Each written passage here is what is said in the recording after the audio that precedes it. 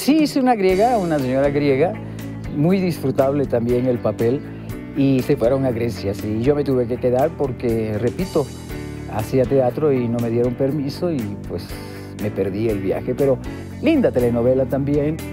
He citado a Melissa y a Héctor para informarles que a partir de la próxima semana tú te harás cargo de todo.